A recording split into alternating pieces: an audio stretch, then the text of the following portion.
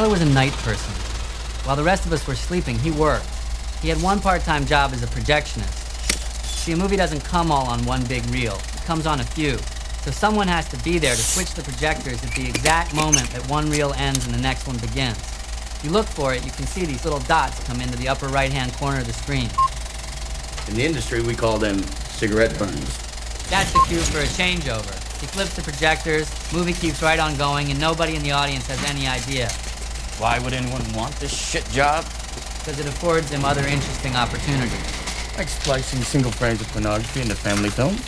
So when the snooty cat and the courageous dog with the celebrity voices meet for the first time in Reel 3, that's when you'll catch a flash of Tyler's contribution to the film.